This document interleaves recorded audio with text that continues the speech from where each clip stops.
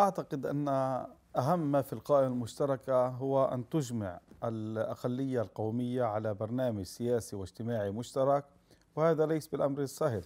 نحن نعيش جزء من الشرق وللأسف الشديد الشرق يقتل على خلفية الهوية والأيديولوجيا بالسنوات الأخيرة ونحن أقمنا هذه القائمة التي تجمع بين شيوعيين وإسلاميين وقوميين وليبراليين. لا شك أنها لحظة فارقة في تاريخ جماهيرنا وفي تنظيم ذاتنا وأعطتنا قوة غير مسبوقة. وصلنا إلى 13 مقعد إلى القوة الثالثة. 88% من أبناء شعبنا صوتوا لنا. كل هذا مفروض أن يعطينا دفعة قوية. الأمر الأساسي أننا نريد أن نكون جزءا من العمل السياسي ومن التأثير به. فالمرة القادمة ممكن أن نحصل على أكثر من ذلك وأن نكون عامل مركزي ومؤثر أكثر.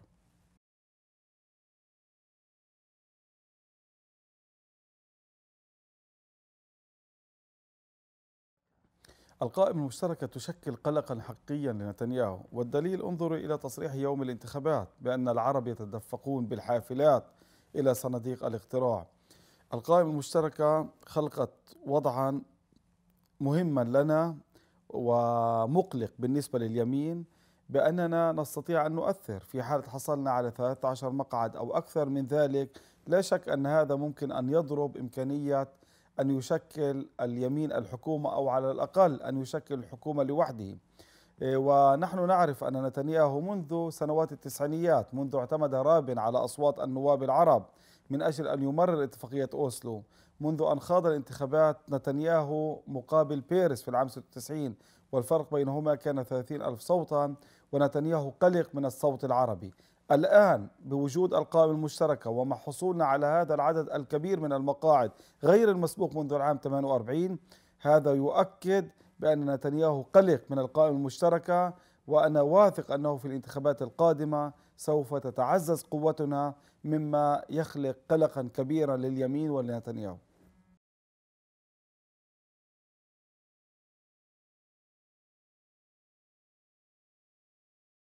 ألمانيا لديها حساسية بالتعامل مع إسرائيل وأنا أفهم البعد الأخلاقي لتعامل ألمانيا مع الشعب اليهودي بعد الكارثة الرهيبة التي حلت باليهود وغير اليهود. هذا أمر أخلاقي وصحيح.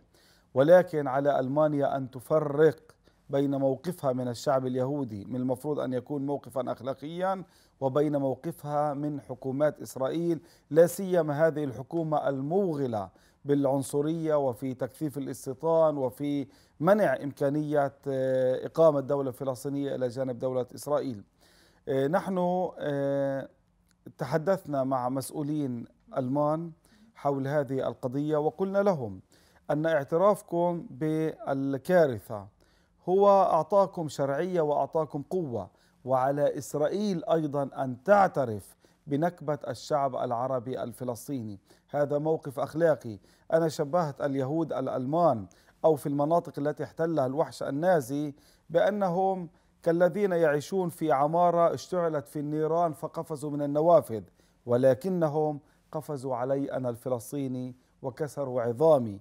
هذه الجريمة النكبة في العام 48 يجب أن يتم الاعتراف بها وتصحيح الغبن التاريخي.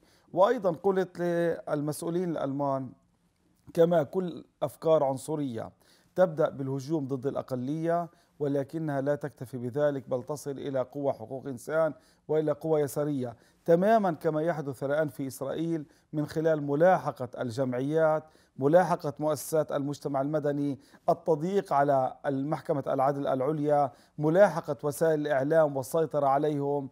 كل هذه الأمور تشكل بذور للفاشية وألمانيا عبر تجربتها التاريخية يجب أن يكون لها موقفا أخلاقيا صميميا بهذا الصدد.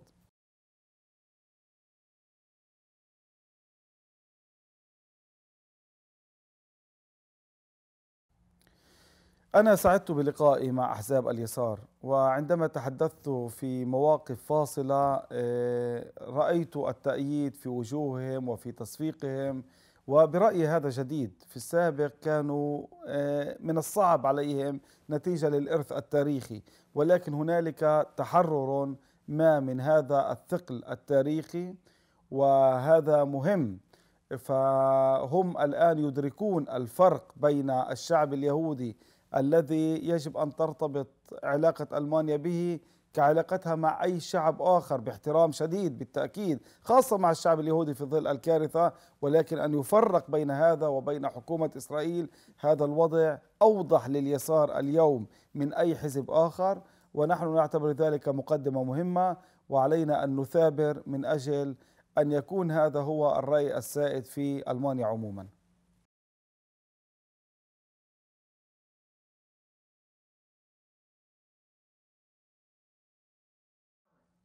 الحقيقة هذا الأمر ليس سهلا.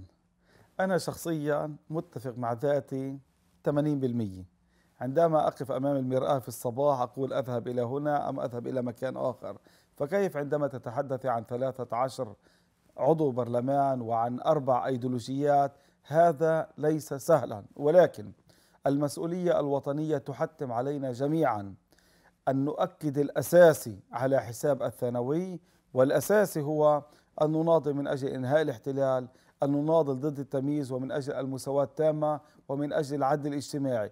باقي القضايا ممكن أن نعززها من خلال العمل الجماهيري وليس البرلماني أي أن امتدادنا الأيديولوجي. ممكن أن نقوم بهذا الدور أساسا بين الجماهير آه، من أجل أن نعزز من أيديولوجيتنا وكذلك بالنسبة للإخوة في الحركات الأخرى. ولكن في البرلمان أن نجد كلمة سواء نتوحد حولها من أجل أن نعزز الأساسي على حساب الثانوي. أستطيع أن أقول بثقة بعد سنة ونصف من انتخابات الكنيست أن كل من راهن على ارفضاد هذه القائمة بعيد الانتخابات فشل هذا الرهان ونحن ما زلنا مع بعضنا البعض. هنا في ألمانيا أنا بزيارة مع أخي مسعود غنايم وهو نائب ورئيس آه، قائمة الحركة الإسلامية في القائمة المشتركة وهو مركز عمل القائمة المشتركة وأتعامل معه ويتعامل معي بوطنية صافية من أجل أن آه، أن نعزز هذا الانتماء المشترك وهذه الرؤية المشتركة من أجل أن نكون أكثر إفادة لشعبنا وللقضايا والمصالح الحقيقية للشعبين بالعيش بسلام ومساواة وديمقراطية. شكرا جزيلا.